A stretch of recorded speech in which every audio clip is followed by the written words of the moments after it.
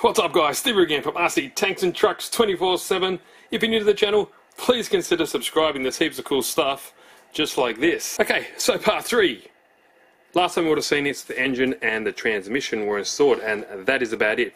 Now, what makes these guys work and run well, if you set them up correctly, is all this little tedious stuff here. So you have a fuel tank, servos for your throttle and brake, servos for your reverse and forward for the transmission for the Revo 3.3, and you also need a steering servo, fuel tank obviously, and a little oil reserve for the crankcase vent here. So the oil, because it's a two-stroke, even though it's sorry, even it's a four-stroke, running uh, nitro fuel because the oil is in the fuel.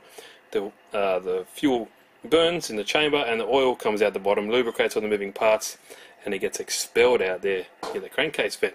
You can either have it, you know, just going into the atmosphere, which is pretty dirty and messy, but I like to run it into a little, little, what you can call a little jar there, so, you know, collects and you can empty it out when it gets a bit full. But anyway, I'll show you what I've done. So firstly, fuel tank. And I like to set these up so you can, they kind of look like a kit. I like to set them out, you know, planned how it looks, everything's kind of nice and straight and uh, kind of thought out because it just looks neater in my opinion, it just works better in general. So Fuel tank sits on this nice aluminium plate, fairly thick, it's about 3 mil thick, and it runs up to here. Behind here is a T-way, because it's a dual carb, so it goes two into one, and there is my fuel tank, very nice and solid. It's not as easy just mounting it because actually underneath you need to drill out the bottom of that plate because on the top here this and this sort of hole doesn't sit flush with the bottom of the tank so you need to kind of drill them out just like that. So it fits and kind of sits fairly level. So that's fuel tank done. Kind of nice in, in level with the carburetor so it's got nice flow no issues with pressure and all that kind of stuff because our I think kind of gravity fed.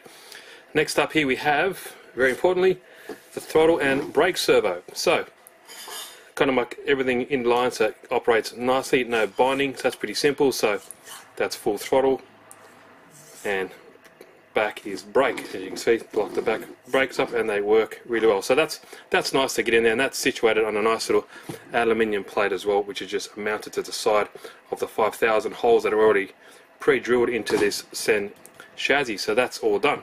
Last up on this side we have the oil collection jar, you could call it. That's it, all it is.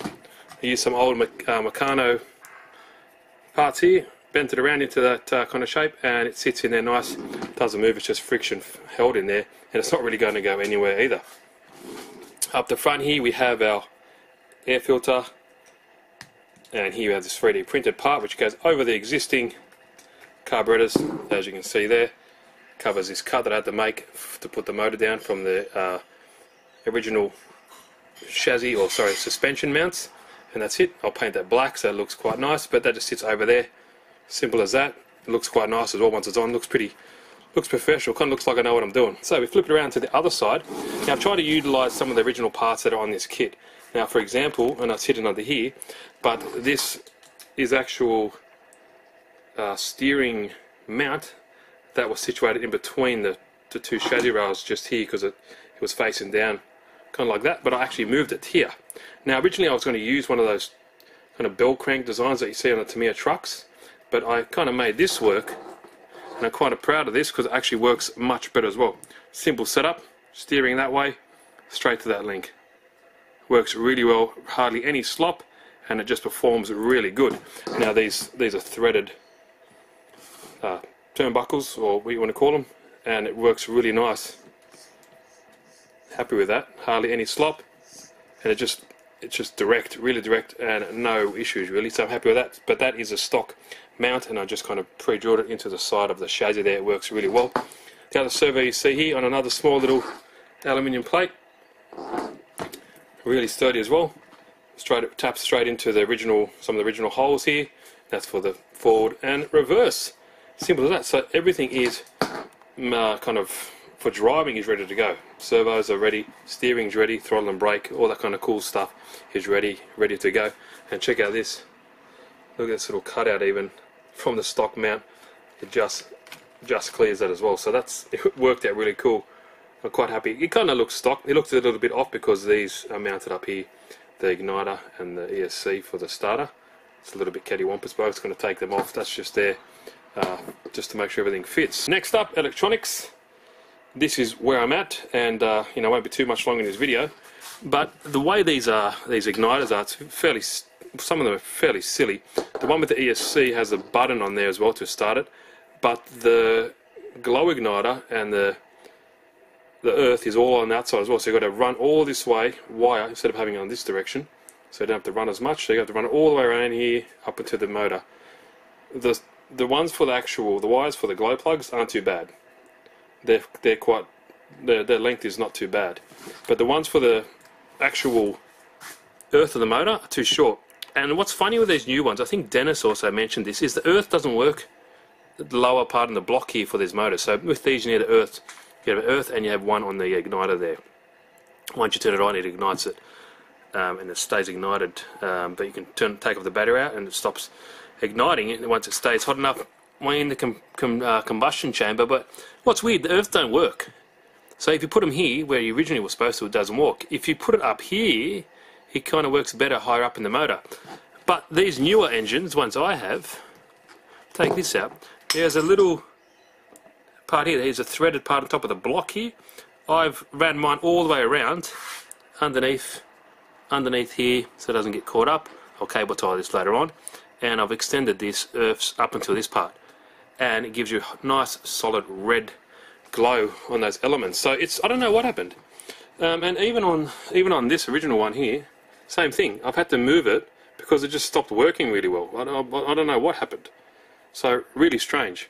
And oh, for this Land Rover, look for forward uh, for future videos because I'm going to be putting the four speed in this. It'll be better for a crawler, and hopefully I get the L400 and I'll put it in the grey Land Rover that I had as well. So I'll be taking this out and I'll probably be putting that four speed in there in future videos. So quickly, here is the fifth servo. This is a physical button to start it. Now I want it to be all with uh, the remote. Now there's these electronic switches you can get from Hobby King, but they're all out and I can't find anything else on eBay. So this is my quick little setup. Here's a switch and here's a servo. It's basically it's going to be dropping down on that. When it starts, it just raises back up. Simple as that. Really easy. So I'm replacing this switch that comes on the uh, stock ESC starter system. Desoldering that, putting one side to here, one side to that, and that's all it is. Pretty ingenious, I think. It's just going to sit here, so it's going to look all really, really scale, not scale, sorry, all kind of stock. So pretty cool. Next video, part four you'll see this guy running because it should be ready to go.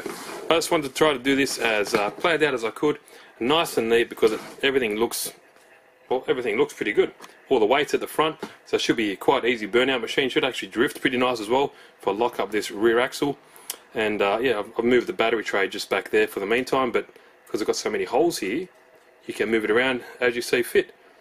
So that's it guys, part 4 looking good. I'll button up all this wiring and then part 4 we should see this baby run. So any questions like always leave them down below. Go check out uh, Dennis's uh, channel as well. He's got some really cool builds.